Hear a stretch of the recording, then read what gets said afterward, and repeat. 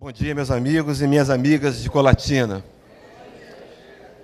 Meus irmãos, eu estou muito feliz de estar aqui e nas minhas orações eu fiquei pedindo a Deus para que essa manhã pudesse ser muito especial para todos nós.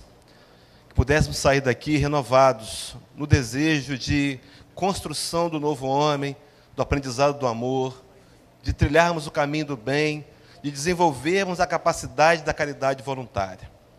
Que essa manhã possa ser de reflexões profundas e pessoais, para que ela seja diferente, que ela faça diferença na nossa história, para nós sairmos daqui muito mais impulsionados pelo desejo de caminhar ao lado de Jesus. Então, que o Nazareno amoroso possa nos acolher a todos em seu coração de luz e nos contemplar, acima de tudo, com a sua presença magnânima. Meus irmãos, eu queria agradecer também e dizer aqui, fazer algo que não, talvez não seja muito comum, mas eu queria agradecer à Rede Amigo Espírita pela oportunidade que ela nos dá e tem nos dado de divulgar o Evangelho de Jesus na visão do Espiritismo com uma amplitude tão grande. Um trabalhador, uma única pessoa, José Aparecido, que se desdobra num esforço para manter um canal que hoje tem 84 mil pessoas, que nos possibilita levar o Evangelho de forma tão clara e simples para dentro das casas das pessoas. Esse trabalhador voluntário, que não recolhe nenhum benefício financeiro, um homem que se dedica, um abnegado servidor do Cristo. Então, para ele, eu queria dizer muito obrigado. Queria também reconhecer aqui o trabalho anônimo de quantos que se vestem nessa manhã e nesses dias de transmissão pela Rede Amigo Espírita, como cinegrafistas. Né? Não aparecem diante das câmeras, mas ficam ali em pé também como palestrante, trabalhando, se esforçando. Para hoje, nós aqui, o Carlos Prete, nos auxiliando na transmissão dessa mensagem, que nos possibilita, então, atingir vários estados e vários locais. Então, eu queria mandar aqui o um abraço nosso companheiro Moisés do Santo Júnior, lá em Campinas, que está nos ouvindo pela, rádio, pela Rede Amigo Espírita, para um casal muito querido lá de Matilde, é, interior do Espírito Santo, ali de Alfredo Chaves, né? a Penha e o Ademir, e mais os companheiros lá do Núcleo Espírita, Maria de Nazaré, que também, por certo, estão nos acompanhando nessa manhã. Então, que esse reconhecimento, meus irmãos, que eu tenho certeza que eles não queriam ouvir, né? trabalhadores desse nível querem ficar anônimos. Mas fica aqui esse registro. O tema a ser abordado: suicídio e espiritismo. E eu queria começar contando uma história que está no Evangelho de Jesus. Era um dia comum, aparentemente, para Jesus e seus trabalhadores, mas eis que de repente chega alguém trazendo um recado. Era um porta-voz dizendo: Olha, seus amigos em Betânia, o seu amigo Lázaro está muito doente. E a irmã, e suas irmãs Marta e Maria pediram que eu trouxesse a informação para que o Senhor fosse lá. Betânia, para Jerusalém, dista em próximos quatro quilômetros, era muito perto. Dava para ir a pé, e só podia ir a pé, ou de montaria, não é? Mas Jesus não vai. Mais tarde, quando ele vai à casa de Lázaro e já o encontra morto e sepultado, ele diz que não teria ido porque o nome de Deus seria glorificado, no fato dele não ter ido. Quando ele chega lá, as irmãs estão chorando, as pessoas estão chorando, há uma comoção e diz: Senhor, se tu tivesses vindo aqui, ele não teria morrido. E ele diz assim: Lázaro não está morto. E manda que, que os homens então tirem a pedra da porta do sepulcro. Naquela ocasião não se, interna, não se enterrava como fazemos hoje em covas, era, eram cavernas. A pedra era pesada, e aqueles homens vão até a porta, e alguém diz para ele, mas Senhor, ele já cheira mal, são quatro dias que ele está aí dentro, é melhor não abrir a porta, não, não, abre a porta. E tiraram a pedra. E eu fico pensando, meus irmãos, o que é mais fácil, né? Fazer o que o Cristo fez ou tirar a pedra. Mas ele contou com a participação dos homens, aqueles homens tiram a pedra. E agora ele, exercitando uma energia de quinta dimensão, a quinta essenciada, ele grita e solicita que Lázaro saia. Diz Caibá Schutel, no livro que ele interpreta o Evangelho, me recordo agora o nome perfeitamente, ele diz que talvez Lázaro estivesse passando por um processo de catalepsia. Mas, enfim, não é esse o assunto dessa manhã. Fato é que Lázaro se levanta, envolto em panos. E o Cristo diz assim: desatai-o e deixai-o ir. Meus irmãos, essa semana, esse mês, a gente comemora os dia, o dia de finados. Novembro foi o feriado de finados, dia 2. Finados que a gente equivocadamente acha que está morto, mas que não está. Lázaro estava sepultado. Mas Jesus aparece para trazê-lo de volta à vida. Meus irmãos, quantas vezes na nossa história de indivíduos pessoais, de espíritos imortais que somos, nós temos sepultado nossos sonhos. Nós temos nos sepultados. Nós temos desistido de nós mesmos, porque não conhecemos a importância do que somos e do que temos. Quantas vezes sofremos voluntariamente? Escolhemos o sofrimento. Há um ditado popular que diz que dor é inevitável, mas sofrimento é opcional. Quantas vezes na invigilância, na imaturidade espiritual, a gente olha para trás e acredita que não representa muita coisa. Nessa manhã, para falar de suicídio, e talvez seja esse o motivo pelo qual as pessoas optam por essa opção tão equivocada e dolorosa, que vamos discorrer nessa manhã baseado na visão do Espiritismo, para servir de alerta para cada um de nós, para espantar de vez qualquer tipo de pensamento que nos leve a essa ideia equivocada e dolorosa. Mas, enfim, essa manhã, o Cristo vem nos convidar a sair da cova, a sair da sepultura. Uma passagem de Paulo de Tarso, me parece que é a carta aos Filipenses, ou ele está escrevendo a Timóteo, não me lembro agora exatamente, ele diz assim: Desperta, ó tu que dormes, levanta-te entre os mortos e o Cristo te esclarecerá. Viemos aqui nessa manhã, meus irmãos, buscar o consolo, o conforto, o esclarecimento de Jesus e ressuscitar para a vida. Voltar a viver, não vegetar, não apenas ficar no mundo, mas aproveitar o máximo possível essa oportunidade reencarnatória que Deus tem nos dado para a construção do novo homem. Suicídio e espiritismo. O que que o espiritismo tem a nos falar com relação ao suicídio. Para começar, falar em espiritismo, a gente fala de consolo, que vem através de informações e esclarecimentos. Vamos traçar aqui um quadro doloroso sobre suicídio. Um quadro doloroso da realidade do, do suicídio trazido de forma cabal pela doutrina dos espíritos. Necessário se faz que esse quadro doloroso se apresente. O tema é difícil de ser abordado, porque é um tema que nos vai fazer mover os, os corações e os sentimentos. Quem de nós não conhece alguém que tomou o caminho do suicídio? Quem de nós, em algum momento da vida, não pensou em fazer isso? E por que de onde vem essa ideia? Qual a proposta espírita, então, para falar de suicídio? Esclarecer-nos da necessidade de entender os resultados de uma atitude que acontece no instante. Impensada, muitas vezes não, mas talvez no instante exato é dito pelos espíritos que cometem o suicídio e que retornam para contar essa realidade de que no antes do ato em si já se arrependeram. Os que pulam de um prédio antes de baterem no solo já se arrependeram do que fizeram. E as consequências, vamos ver, são extremamente graves. O que é o suicídio? Fui até o dicionário, está lá. Ação de acabar com a própria vida. Ação de se matar. Por que, meus irmãos, que as pessoas fazem essa opção?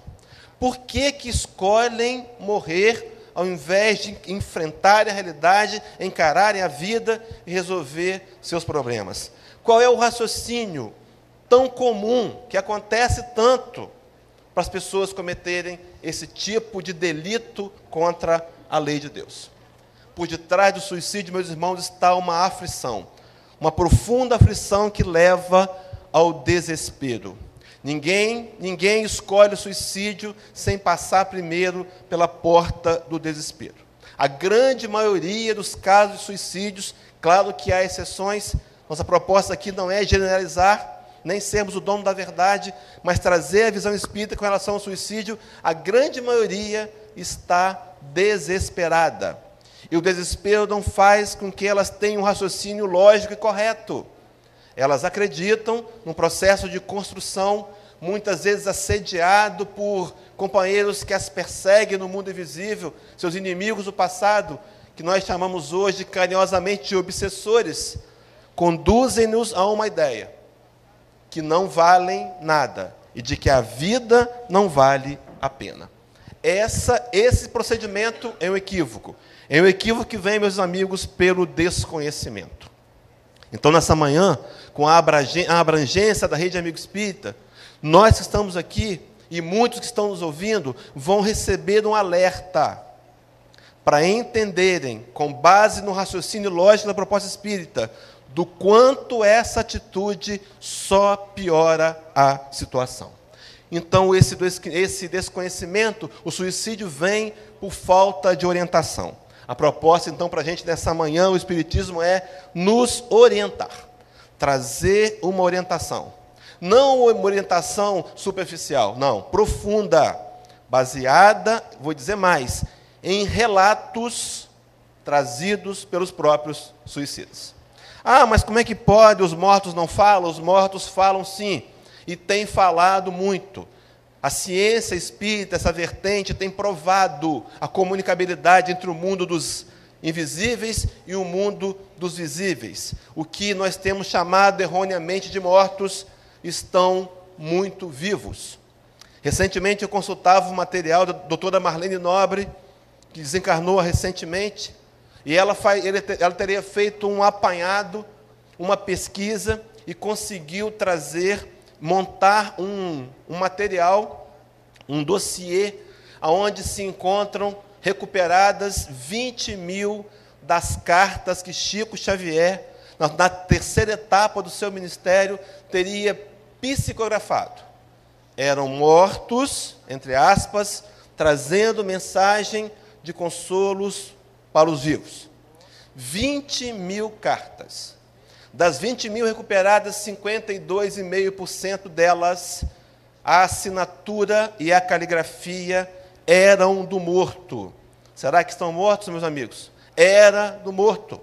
Nos 100% dos casos, 100% dos casos, havia um adjetivo, uma forma amorosa de falar, que só o morto e o vivo que recebeu a carta sabiam. É aquela mãe que insiste em chamar o filho já maduro de meu tchutchuquinha. Se isso cai na internet, vira até piada. Mas na carta estava lá, seu tchutchuquinha. Chico Xavier não era um farsante. O trabalho que Chico fez continua hoje. Prossegue através de vários trabalhadores. Na semana que vem, sem fazer propaganda, já fazendo, dia 19, companheiro Fernando, Fernando Bem, do Rio de Janeiro, vai estar aqui fazendo esse trabalho. Conversava com o Vigílio mais cedo, o Vigílio dizia assim para mim, da surpresa que esse trabalho, que esse trabalho de psicografia oferece. Esse médium atual, diferente de Chico Xavier, ele além de trazer a comunicação do que parece morto para o vivo, ele deixa o telefone celular ou o e-mail de um familiar para que as pessoas se comuniquem e digam a mensagem. Esses homens não estão brincando de falar com os mortos. Eles ouvem, eles veem, eles escrevem pelos mortos. A ciência espírita então provando. Nessa manhã, meus irmãos, a orientação vem dos mortos. Para que essa orientação? Para mostrar para a gente a realidade dolorosa, para nos convidar a repensar, meus amigos, vamos entender o que são 40 segundos passa no instante. A cada 40 segundos, uma pessoa tira a vida no planeta. A cada 40 segundos há um caso de suicídio. É grave? Quando postei essa palestra ontem no, na, no Facebook, meu companheiro Tiago, Tiago Freitas, lá de Vila Velha, também de Guarapari, que hoje está fazendo palestras ele está trabalhando hoje em Pociúncula e em Tombos. Me passou um link de uma estatística de suicídios e mostrou que o estado do Espírito Santo é o que tem o maior índice, acima da média nacional. Suicídio é grave, existe e é real. Passa pelas nossas cabeças? Já passou de vez em quando? Então a proposta dessa manhã é a gente entender o quanto é perigosa essa ideia. Um equívoco, um desconhecimento, um equívoco, desconhecimento que vem, meus irmãos, porque acima de tudo, nós não entendemos a imortalidade. Não entendemos, nós somos espíritos imortais, nós não morreremos. A morte física não exterminará o sofrimento. Esse equívoco é cometido então por quê? Porque a gente tem a ideia errada de eliminar a dor. A proposta, a ideia é de eliminar a dor, não é de eliminar a vida. Acordamos do outro lado com uma surpresa extremamente desagradável. Continuamos vivos e com um problema extremamente maior. Por quê? Vamos analisar isso hoje, nessa manhã. Mais um sofrimento extremamente maior. Esse alerta, meus irmãos, vou repetir, vou ser insistente, para aqueles que nos ouvem pela internet ou que estão aqui conosco, encarnados e desencarnados, para que a gente possa varrer da nossa memória, da nossa mente, qualquer ideia com relação a suicídio. Porque a doença, meus irmãos, encontra-se na alma. Quantas vezes nós queremos fugir? Fazemos isso no dia a dia, as chamadas fugas geográficas. Temos um problema, mudamos de casa, mudamos de cidade, mudamos de marido, de esposa, para mudar o problema, mas ele acompanha a gente porque ele está em nós. O problema está na alma. O estado, se a alma está encarnada ou não, continua tendo as mesmas concepções e construção de crenças nela mesma. Precisamos, companheiros, entender isso. A doença está na alma. Suicídio não vai resolver. Se você quiser experimentar, depois vem para contar para a gente que eu estava certo. Não arrisque. Não estamos falando pautados numa lógica uma lógica irreal. A proposta vem dos mortos. Mas, enfim, seguindo, essa tentativa é inútil, não alivia a dor. Essa tentativa, acima de tudo, vai gerar decepção. E a decepção maior, companheiros, não é com o que acontece do outro lado, não é onde eu chego, não é na região de sofrimento que eu estou, não é nas sensações do corpo, do, do espírito ainda cheio de energia vital. Não é uma decepção com a gente mesmo. Porque nós compreendemos de imediato que não fomos capazes de resistir às dificuldades da vida que são inerentes a todos nós. Uma passagem do, da carta de Paulo escrevendo aos Coríntios, a primeira carta, o capítulo de número 10, versículo 13, Paulo escreve assim: não, Paulo, Paulo escreve assim: Não vos sobreveio provação que não fosse humana, mas fiel é Deus que não vos deixará ser provados além do que podeis suportar. No Evangelho segundo o Espiritismo diz que Deus não nos dá um fardo maior do que podemos levar. Meus irmãos, a concepção, a ideia de que nós não conseguimos é um equívoco. Se estamos hoje, na família que estamos, tendo a condição financeira que temos, morando aonde moramos, são possibilidades. Os problemas são construções, são formas da gente entender a vida e avançar. Não há problemas que não possam ser resolvidos. Não, não há nenhum. Todos nos são assegurados a vitória. No entanto, quando Paulo de Tarso diz isso na carta aos Romanos, capítulo 8, no Cântico da Vitória, ele vai dizer assim: nós somos mais do que vencedores por aquele que nos amou. Quantas vezes, meus, meus amigos, está faltando a rendição? Jesus disse certa vez no capítulo 15 do Evangelho de João: Sem mim nada podeis fazer. No entanto, nós ainda optamos pelas trilhas do egoísmo e queremos resolver as coisas à nossa maneira. Até muitas vezes nossas preces esquecem-se de serem colocadas à vontade de Deus acima de tudo. Queremos que Deus faça do nosso jeito. Sabemos talvez mais do que o Criador, é a criatura, a criatura ousando desafiar o próprio Criador. Damos conta, depois do ato do suicídio, de uma profunda, alta decepção. acompanhada de uma dor, de um remorso, de uma depressão, de uma sensação terrível. E essa sensação vai levar a um sofrimento. Há muito sofrimento. Coloquei muito e pontinho, pontinho, companheiros. E vamos trazê-los à tona aqui a partir de agora. Só para a gente tomar uma consciência. Porque a proposta da palestra é consolar. Vamos sair daqui consolados. No entanto, alertados para ficarmos vigilantes aos pensamentos obsessivos, muitas vezes nossos mesmos, com a ideia de tirarmos a vida. Então vamos lá. Que sofrimento é esse? Que tipo de sofrimento é esse? O que o Espiritismo apresenta para a gente? Eu quero aqui de antemão dizer que esse, essa linha de raciocínio, vamos trabalhar aqui agora, não é absoluta, ela não pode ser generalizada. Cada caso é um caso. Mas, na maioria das vezes, o que acontece com o companheiro que toma as vias do suicídio é mais ou menos o caminho que vamos trabalhar aqui. Para começar a falar em Espiritismo, então, em suicídio pelo Espiritismo, baseado num dado doutrinário, questão 880 de O Livro dos Espíritos.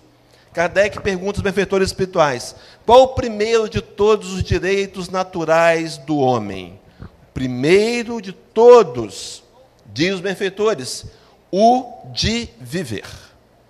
O nosso direito é viver. A maior lei e as leis de Deus existem por conta da vida. O mundo, o universo existe por nossa causa, por conta da vida. Tirar a vida é infringir a primeira lei, o primeiro direito do homem, o de viver. Seguindo esse raciocínio base com base nisso, a questão 614 o livro dos Espíritos, Kardec vai perguntar aos benfeitores espirituais com relação à lei moral, com a lei natural e a lei de Deus, e os benfeitores, nas entrelinhas da resposta, vão dizer assim: o homem só é infeliz quando se afasta da lei de Deus. Todas as vezes que procedemos e agimos contrário às propostas das leis, da lei de amor, justiça e caridade e das dez leis que regem o universo, nós angariamos para nós mesmos um retorno negativo. A infelicidade do homem é escolha dele próprio. Questão 922 do Livro dos Espíritos. Kardec, os benfeitores vão responder Allan Kardec sobre felicidade, vai dizer que, na maioria das vezes, o homem é o próprio artífice da sua infelicidade. Nós podemos agora, companheiros, sair da cova e começar a construir vida, ou então alimentar os elementos que vão nos levar à ideia do suicídio. A baixa estima, a pouca significação, os sonhos mirabolantes, os projetos que acabam em frustrações, depressão, podemos alimentá-los e fazemos isso muitas vezes involuntariamente. Por invigilância, mas vejam bem, o homem só é infeliz quando se afasta da lei de Deus. Infringir a lei de Deus significa infelicidade. Então, aquele que, a, que, afringe, que infringe a lei de Deus da vida está infeliz. Não há outro caminho, não há outra lógica. Só para sedimentar essa informação, questão 984, também do livro dos Espíritos, Kardec pergunta assim: as vicissitudes da vida são sempre a punição por faltas atuais? Kardec sabia perguntar. Será então que todos os problemas que nós passamos é por conta de faltas? Será que eu escolho então dificuldades morais para pagar? Será que é sempre assim? Os benfeitores vão responder que não. Não. Isso me faz lembrar uma história de Chico Xavier, registrada num dos livros de Carlos Bacelli, quando ele diz que Chico Xavier estava em Uberaba, em frente à casa espírita, naquela reunião, depois da reunião, conversando no portão, e passa um homem puxando uma carroça de papelão, um catador de papel, hoje conhecido como reciclador. E Chico Xavier para a conversa com aquelas pessoas que estavam ali, vai em direção àquele homem, o aborda e lhe beija as mãos e retorna. E os companheiros ficam curiosos e perguntam, Chico, o que aconteceu? E ele diz, espíritos dessa, desse quilate evolutivo, quando passam pela rua, deixam um rastro de luz. Era um missionário que escolheu vir pobre, como catador de papel. Não estava ele pagando mais nada. Simplesmente escolhe uma tarefa difícil para dar exemplo para nós e para os outros. Mas a resposta continua, diz assim: já, já, não, já dissemos, dois pontos. São provas impostas por Deus ou que vós mesmos escolheste como espíritos antes de, de encarnardes, para expiação das faltas cometidas em outra existência porque jamais fica impune a infração das leis de Deus e, sobretudo, a lei de justiça. Meus irmãos, a lógica da doutrina espírita: infringimos as leis de Deus, Deus não nos castiga. O castigo vem por nós mesmos, porque escolhemos mal, plasmamos de forma errada.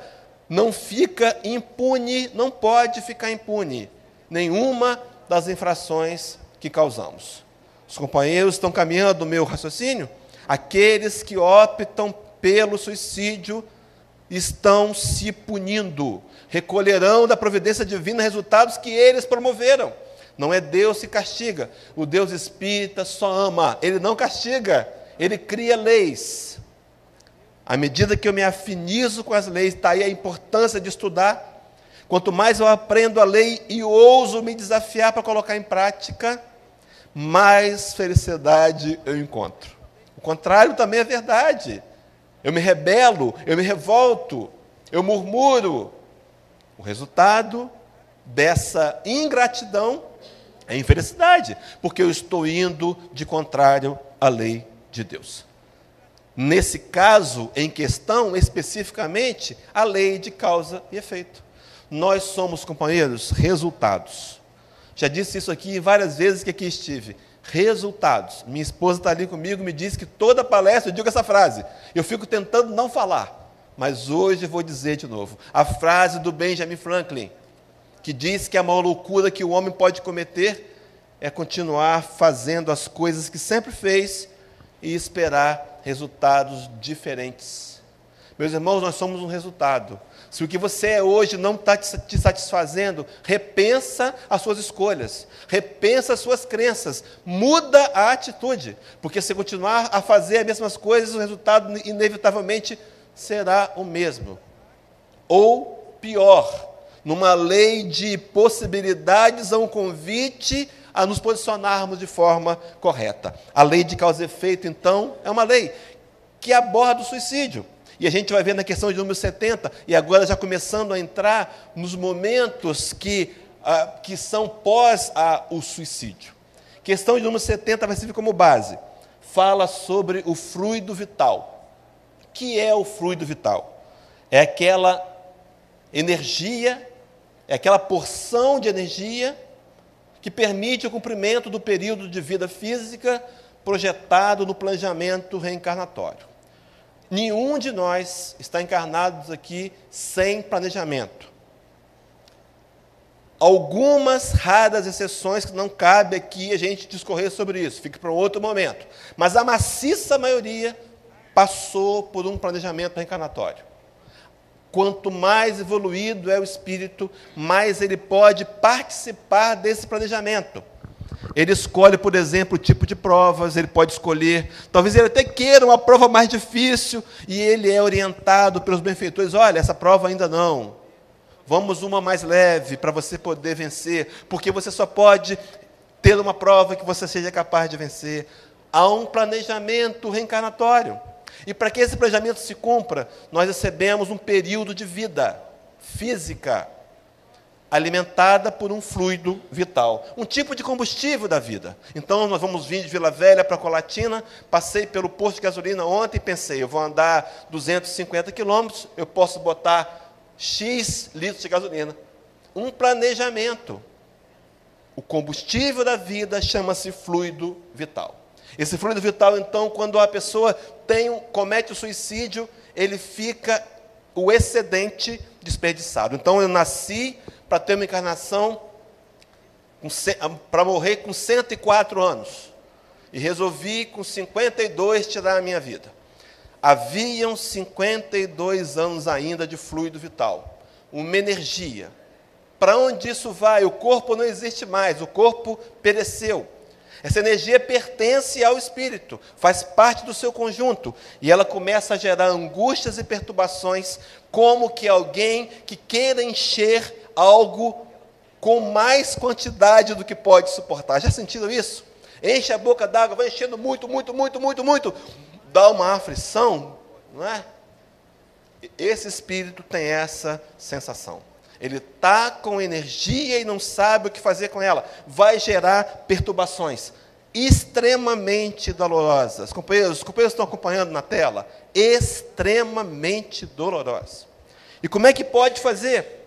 Como é que vai acontecer com ele? Aí que quero abrir um parênteses de novo. Existe atenuantes pessoais por méritos conquistados. Não, não generalizemos. Nem todo caso de suicídio tem resultado igual. O resultado igual é sofrimento. A quantidade e a duração dele, a intensidade muda de acordo com os méritos pessoais, de acordo com o motivo. Vou dar exemplo. Por exemplo, motivos. Então, nós temos um piloto japonês da Segunda Grande Guerra Mundial, ficou conhecido como kamikaze. Esse homem é um suicida? Infringiu a lei de Deus? Sim mas ele foi orientado, ordenado, ele fazia em nome da honra do seu país. O tipo de resultado para ele é diferente daquele que voluntariamente pula de uma ponte, por uma questão emocional, por exemplo. Recentemente, na televisão, apareceu também um fato aconteceu em Tóquio, um político que foi apanhado num caso de corrupção e diante das, das telas, diante das câmeras de televisão, ele ia pedir desculpas e sacou uma arma, tirou uma arma e colocou na boca e atirou. Quantos viram isso? Foi ao vivo na televisão. Só cortaram a imagem, claro. Esse homem tomou uma atitude de suicídio por honra pessoal. É diferente. Os resultados têm que ser diferentes. Por exemplo, também diferentes são as influências. Quantas vezes, na maioria delas, nós somos influenciados pelos invisíveis que ainda nos têm por inimigos? E com uma certa razão. Eles não conheceram ainda o Evangelho do Cristo, eles não sabem o que é o perdão. E nós, no passado, construímos inimigos neles, nós os ultrajamos, tomamos suas propriedades, matamos suas famílias, abusamos deles, colocamos muitas vezes num calabouço e deixamos os ratos comerem. Enterramos vivos, fomos nós. Esses companheiros tão invisíveis agora nos encontraram e vão tentar a vingança através do suicídio. E vão nos dizer, e vão dizer que a minha vida não vale nada, que eu não presto para nada, que não vale a pena ficar aqui, que tudo dá errado, que tudo dá errado. E nós acreditamos num discurso que não é verdade. Tudo dá errado. A nossa vida dá muito mais certo do que dá errado. Algumas coisas dão errada, mas nós pontuamos o que está errado. E aí os, as influências vêm. Pesa também? Pesa. Aqueles comandantes do passado que nos fizeram nos tornar, por exemplo, um homem-bomba. Eles têm uma influência? Sim. Nós tiramos a vida? Sim. Mas há um peso num processo de misericórdia de Deus. Sempre Deus agirá a favor da humanidade. Qualquer que seja o caso de suicida, esse companheiro vai ser resgatado, tratado, porque ele é amado por Jesus.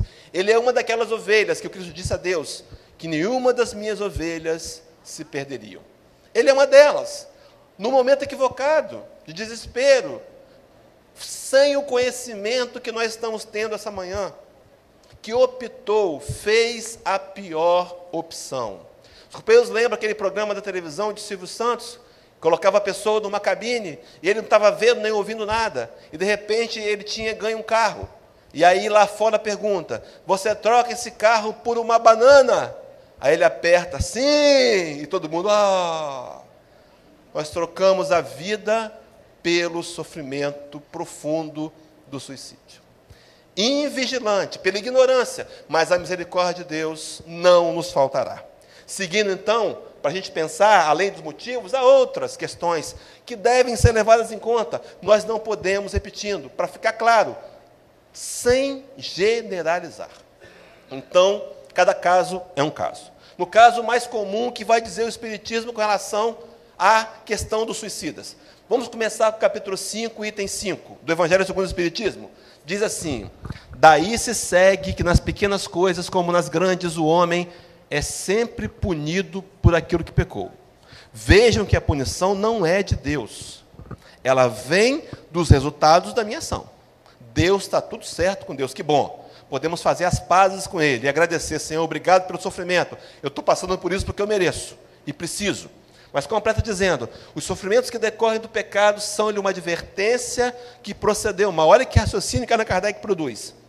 Dão experiência, lhe dão experiência, o sofrimento, fazem-lhe sentir a diferença existente entre o bem e o mal e a necessidade de se melhorar para de futuro evitar o que lhe originou as fontes de amargura. Então, se ele não recebe uma dor de retorno pela atitude equivocada que tomou, como é que ele vai se corrigir? E, e Kardec completa dizendo assim: sem o que motivo não haveria para que se emendasse. Confiante na impunidade, retardaria seu avanço e, consequentemente, sua felicidade. Então, não há como esquivarmos da punição, pelo ato de infringir a lei de Deus. Então, o suicídio, ainda agora capítulo 5, item 10 do mesmo evangelho, vai dizer assim: os espíritos não podem aspirar à completa felicidade enquanto não se tenham tornado puros. Aqui tem a base doutrinária que nós fomos criados simples, ignorantes e caminhamos para a perfeição. Vai demorar algum tempo. Estamos em andamento. Então você vem dirigindo o seu carro para ir para sua casa e encontra a rua fechada. E está lá uma placa dizendo: desculpe, estamos em obras. Aí você dá a volta, tem um trabalhinho a mais, mas chega em casa. Você fica revoltado porque a rua está em obra? Porque você sabe que daqui a uns dias a rua vai estar tá pronta, o asfalto melhor, aquele buraco acabou e facilitou o trânsito. Meus irmãos, nós estamos em obra. A cada dia nos tornamos pessoas melhores, mesmo que a gente não consiga perceber. Quer, quer falar alguma coisa? Pode, pode, pode deixar, deixar para o término, só para não perder a linha de, de raciocínio? Muito obrigado, hein? Então vamos lá. Os espíritos não podem esperar essa completa felicidade enquanto não se tenham tornado puros. Vejam só. Qualquer mácula lhe inter, interdita a entrada dos mundos ditosos. Olha o raciocínio, acompanhe comigo, companheiros, na tela. São como os passageiros de um navio onde há pestosos, aos quais se veda o acesso à cidade a que aportem, até que hajam expurgado. Olha só o raciocínio, onde eu quero chegar. Mediante as diversas existências corpóreas, é que os espíritos se vão expurgindo, expungindo, pouco a pouco, as suas imperfeições. Então, hoje, quando eu olho para mim e encontro imperfeições, isso é natural, é minha realidade. O que não pode acontecer é me conformar com as imperfeições. Eu tenho que continuar trabalhando a cada dia para ser alguém melhor e mais perfeito. As provas da vida os fazem adiantar, adiantar-se quando bem suportadas. E olha só, as expiações como elas apagam as faltas e purificam. São o remédio que limpa as chagas e cura o doente. Guarda essa frase agora. Opa. Quanto mais grave é o mal, tanto mais enérgico deve ser o remédio. Então, se o suicídio é a pior atitude que mais infringe a lei de Deus, a gente imagina que o tratamento tem que ser enérgico, sem dúvida alguma. E fecha dizendo: aquele, pois, que muito sofre, deve reconhecer que muito tinha a espiar e deve regozijar-se à ideia da sua próxima cura. E olha só, para terminar essa parte, dele depende, pela resignação, tornar proveitoso o seu sofrimento e não lhe estragar o fruto com suas impaciências, visto que, ao contrário, terá de recomeçar. Meus irmãos, não importa onde nós estamos, recomeço é oportuno. Emmanuel, no livro Palavra de Vida Eterna, lição número um, ele diz assim: recomeçar é dádiva da lei de Deus. Meus irmãos, está na hora de tirar a pedra, chamar os amigos para tirar a pedra da porta do túmulo, para a gente sair, para retornar, retomar a vida. Nós podemos e precisamos recomeçar. Deixa o seu passado onde ele tem que ficar. No passado. Já disse isso também aqui, numa outra ocasião. Entrei certa vez num estabelecimento comercial há 30 anos atrás. E eu li uma plaquinha, uma plaquinha que me marcou. Plaquinha dizia assim: se as coisas do passado fossem realmente tão importantes, elas não teriam passado. Deixa lá atrás.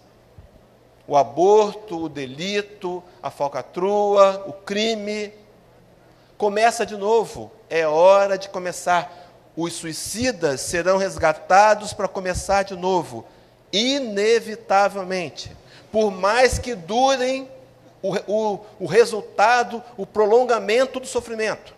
Dona Ivone Pereira, Dona Ivone do Amaral Pereira, no livro Memória do Suicida, ela vai narrar que há casos de suicidas onde o companheiro fica em zonas trevosas por até 200 anos. Um instante de invigilância, como diz Emmanuel no livro, no livro Há Dois Mil Anos, não é? Uma composição de uma frase para Emmanuel. Instantes de invigilância podem produzir séculos de sofrimento. Meus irmãos, está na hora de recomeçar. Todos nós, encarnados e desencarnados presentes aqui. Os desencarnados são convidados a olhar para a luz e caminharem na direção do reinício. Esse é o convite. Vamos então falar de suicídio espiritismo, vamos falar desse muito sofrimento. Três etapas. Quais são os sofrimentos trazidos pelo espiritismo? De novo, sem generalizar. Primeira coisa que acontece: na maioria dos casos. O suicida assiste à decomposição do seu próprio corpo. Na maioria dos casos, o fluido vital em excesso prende-o ao corpo. Ele não consegue sair dali. E ele começa a ter um sofrimento intenso, porque ao longo dos dias, dos meses ou até dos anos, ele vê o seu corpo, que deveria estar vivo, mas está morto, apodrecendo. Isso é terrível. Isso é terrível. O livro dos Espíritos, questão 165, vai dizer para a gente dessa perturbação que acontece após a morte. Todos nós passamos por ela. Esse retorno ao plano espiritual, há um trabalho dos benfeitores espirituais de desligamento do envoltório físico do envoltório espiritual. Esse trabalho dura horas ou dias, de caso para caso. É um trabalho onde a gente não entendia antes de ser espírita, como é que isso acontecia? Porque a gente não compreendia que dois corpos podem sim ocupar dois lugares, o mesmo lugar no espaço ao mesmo tempo.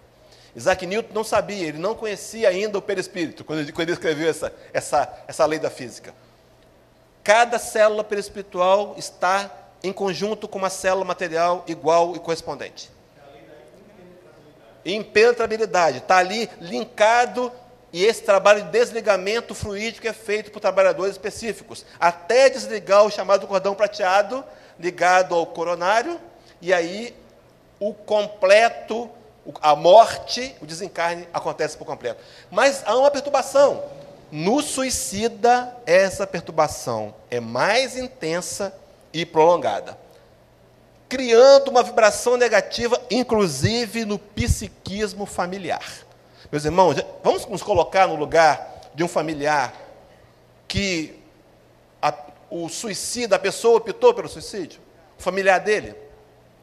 A culpa que fica, os questionamentos, meu Deus, como eu não vi, como eu não observei, o que estava acontecendo? Imagina a dor de uma mãe, de um filho, de uma mulher. Meus irmãos, esse, essa energia pode atingir a família. Há casos de suicídios que pessoas diretas cometem suicídio, são muitos. Para que isso não aconteça, para que esse risco inerente de uma influência negativa do desencarnado, próximo ao núcleo familiar, influencie para que outros casos de suicida acontecem, o sofrimento toma uma segunda etapa. Surge o socorro. Vejam só, o socorro então também é um sofrimento. Por quê? Item 2 esses companheiros são recolhidos a regiões adequadas de vibração da dor. Por misericórdia, são tirados de perto da família e vão para regiões específicas. A literatura espírita apresenta uma para a gente, que é o chamado Vale dos Suicidas, que está no livro da Dona Ivone do Amaral Pereira, Memória do Suicida, um lugar onde o, o espírito vai para sofrer. Esse sofrimento é um socorro. Vejam, ele podia se comprometer mais se não fosse para lá, com a influência involuntária e negativa que produzia na família. Então, meus, Todo mundo me acompanhando, companheiros? Está sendo claro? Então vamos lá. Vale dos Suicidas. Esse lugar é para quê? Primeiro, um local de dor. Sente a dor no lugar de dor. Terceiro, é um local para reflexão. Então ele não é ruim. O companheiro chegou ali e vai ver que a sua atitude foi extremamente equivocada. Que a dor que ele queria eliminar não foi eliminada. E que agora ele precisa refletir. O umbral é bom.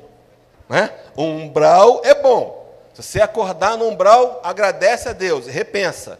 Eu estou aqui para repensar. Onde foi? O que foi que eu fiz para vir para cá? Somente duas coisas. Só vai para o umbral quem faz duas coisas. Quem ainda tem ressentimento e rancor e aquele que tem que se sente culpado, remorso e culpa. Se você não tem isso, está bem resolvido com isso, não precisa passar pelo umbral. Só vai passar rapidamente para chegar numa colônia porque as colônias estão no umbral. Né? Enfim, local para reflexão.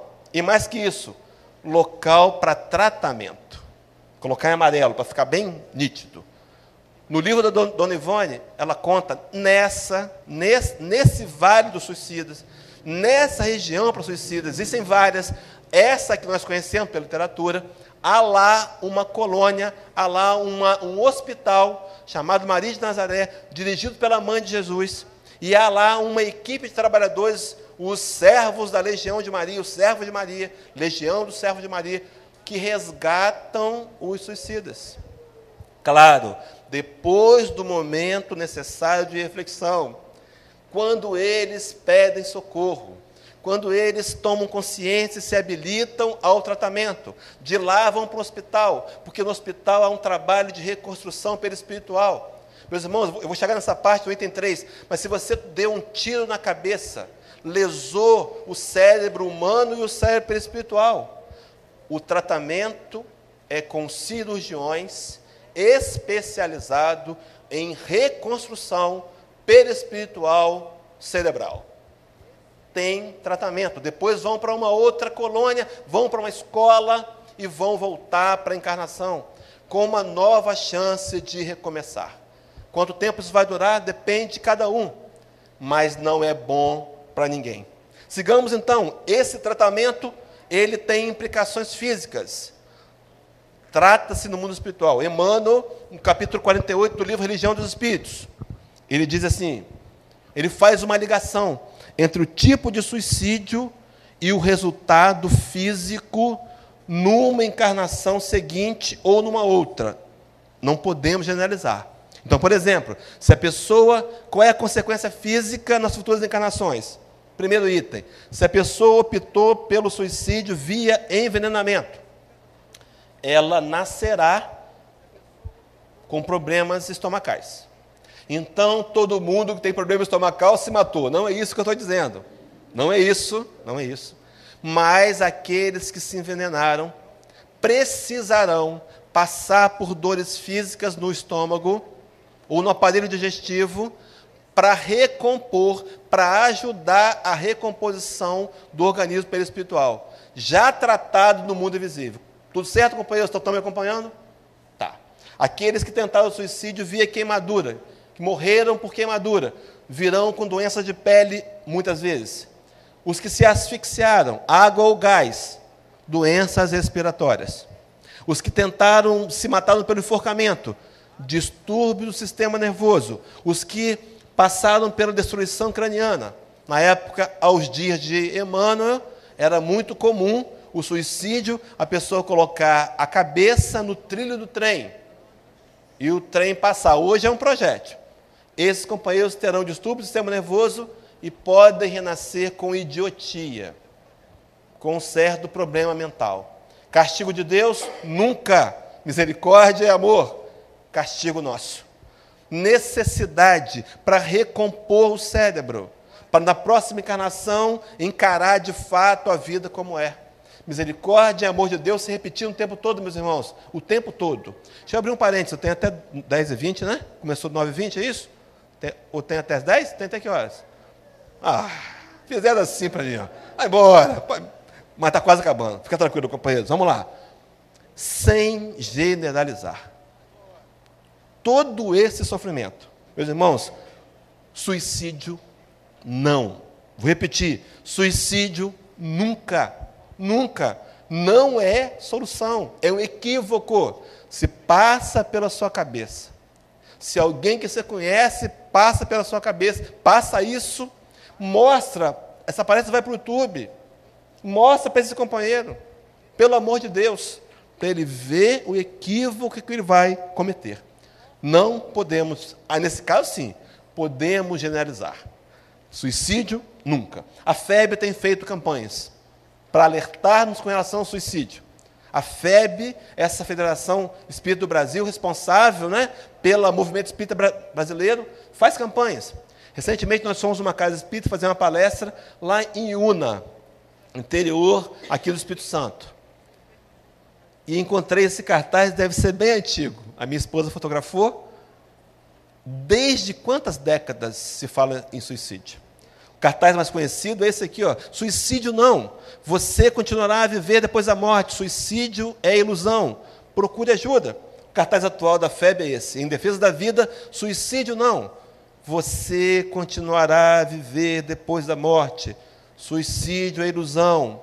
Procure ajuda. E circulou na internet, da FEB também. Sempre há uma saída. Valorize a vida. Busque ajuda. Suicídio não. Para a gente sedimentar essa informação, capítulo 5 do Evangelho, item 17, subtítulo Suicídio e Loucura, está dizendo lá: o Espiritismo ainda produz sobre esse aspecto outro resultado igualmente positivo e talvez mais decisivo. Apresenta-nos os próprios suicidas a informar-nos da situação desgraçada eu, eu fui lá, eu tenho original francês. Eu fui lá. Será que é desgraçada mesmo? É. A situação desgraçada em que se encontram e aprovar que ninguém viola impunemente a lei de Deus, que proíbe ao homem encurtar a sua vida. Apresentada pelos próprios suicidas. Nós trouxemos aqui, e é do livro é, o seu inferno, há lá no capítulo 5, da segunda parte, nove casos de suicidas em Paris que reaparecem nas mesas mediúnicas da época do livro 1864, não é? O seu inferno, 60 e, 60 e, quem fez o ERG aí, lembra me ajudar? 64, 64 é, é o, o, o Evangelho, né? 65? Bom, enfim, fica para dever de casa para os companheiros. Nove casos dizendo o testemunho de dor, de desgraça, de sofrimento, que aqueles que acreditaram iam reencontrar o alívio, vem trazendo. O caso que eu vou apresentar aqui é do François Simon Louvet. Rapidamente. Um homem muito pobre, a prova dele para a vida foi a pobreza, para alguns de nós é a riqueza. Nós temos que ser aprovados nas provas que nos é dada. A pobreza é uma prova dolorosa. A riqueza também. Mas aquele homem não suportou a pobreza. Se tornou revoltado. Se embrenhou pelos caminhos do alcoolismo. E com 60 e poucos anos, ele vai até uma torre, me parece Torre São Francisco I, que fica em Paris, e de lá ele se jogou. E na mesa mediúnica, agora, seis anos depois, ele aparece numa comunicação. E o curioso é que ele está dizendo, ele diz: Eu estou caindo, eu estou caindo, e o chão não chega, eu estou caindo. O momento, que seriam segundos, para ele durava até aquela época seis anos. Claro que foi orientado na mesa mediúnica, foi socorrido pelos benfeitores, foi orientado pelos dialogadores que fazem um trabalho de resgate desses companheiros. Mas ele estava com a sensação continuava caindo. Num vácuo. Já pensou essa dor, companheiros? Será que isso é livre para algum sofrimento? Será que isso é resolver algum tipo de problema? Para aquele homem específico, não foi. E para a maioria e para a totalidade dos que suicidam, não é. Meus irmãos, guardem isso. Esqueçam tudo que eu disse. Suicídio nunca. Suicídio não. Mas aí a gente vai perguntar: o que podemos fazer então para ajudar esse companheiro que desencarnou equivocadamente pelas vias do suicídio? O que podemos fazer? Evangelho segundo o Espiritismo, capítulo 28, parte 4, item 71. Vai nos dizer da maneira mais, o que de mais eficiente podemos fazer e o que de fato vai gerar resultados. Orar. Orar pelo suicida. Há testemunhos deles próprios dizendo que a força da oração aliviava a dor. A dor é dele, é necessária, é resultado, mas a nossa prece pode aliviar a dor, pode amenizar o sofrimento. Meus irmãos, coloca o nome do seu companheiro suicida, quem que você conheceu, no livro de preces da casa. Traz para suas reuniões, suas orações pessoais. Pede a Deus por ele misericórdia e compaixão que já estão em andamento, mas a sua prece vai contribuir para que ele se conscientize, para que ele volte para ele mesmo, para que ele tenha o arrependimento e não só o remorso. Porque o remorso é uma dor profunda quando fazemos alguma coisa que nos fere ou fere alguém. O arrependimento não, nos convida a mudar de posição. Os companheiros podem estar numa zona de sofrimento, mas a sua prece vai influenciar. Para começar a pensar em terminar, então, capítulo 10 do Evangelho de João, versículo 10, parte B. Palavras do Nazareno amoroso. Que faz da execução ao projeto da humanidade, ao projeto de Deus de resgate da humanidade terráquea. Ele diz assim: Eu vim para que tenham vida, e vida em abundância. Meu querido, eu não sei qual a sua linha de raciocínio, que pode culminar em acreditar que suicídio é uma solução. Jesus veio para dar vida. Não uma vida, não simplesmente a porção material, mas o que nós conhecemos por vida eterna. Aquele momento em que o pescador de Cafarnaum, Pedro, diante dos discípulos fugindo na hora das perseguições, e o Cristo vai inquirir, dizendo: Olha, estão fugindo. Vocês não querem fugir também? E Pedro diz: Senhor, para quem iremos nós? Tu tens as palavras da vida eterna. Paulo de Tarso, na carta aos Coríntios, vai dizer assim: aquele que espera em Deus apenas para essa vida é o mais infeliz de todos os homens. Meus irmãos, o que está em jogo aqui não é só a resolução de um problema pessoal, material. Isso vai passar e no instante que está em jogo aqui é a felicidade do espírito imortal. Meus irmãos, é melhor passar pela dor, pelo sofrimento, pelo desafio, pela dificuldade, ao lado de Jesus do que longe dele. Não estou dizendo que o suicídio está longe dele, não, mas faz por onde se afastar. Mas ele está dizendo: não vim, eu vim para que tenham vida, e não uma vida qualquer, uma vida abundante. A leitura preparatória foi muito adequada e não foi nada combinado. A serenidade, buscar encarar a vida com a realidade que ela é, meus irmãos, nós temos problemas a serem resolvidos. Desistir deles não resolve, vai só protelar, vai só fazer com que eu necessite retornar para retomá-lo. Meus irmãos, nós estamos talvez nos sentindo muitas vezes dentro do sepulcro. Mas a pedra foi retirada.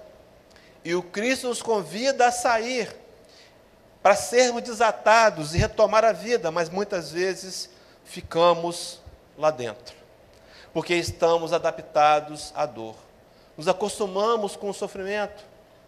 A opção dessa manhã nós podemos fazer e devemos fazer é dizer não ao suicídio. Nunca, suicídio, nunca. E ao contrário disso, pedimos ajuda, pedimos o socorro, retomarmos o conhecimento de espíritos imortais que somos e recomeçar. Suicídio nunca, recomeço sempre, sempre. Que os benfeitores espirituais, nosso anjo de guarda, durante esse domingo, durante o sono da tarde, para alguns que vão poder fazer isso. Durante a, a vigília, o sono da noite, que os companheiros espirituais que dirigem essa reunião, em consórcio com o nosso anjo de guarda, possam impactar o nosso psiquismo com essa realidade. Para que nenhum de nós que ouvimos essa informação espírita possamos nos deixar envolver, quem sabe outra vez, por essa por esse mecanismo, por esse sistema tão bem elaborado, mas que é um grande equívoco. Que Jesus nos dê muita vida, muita paz, queridos.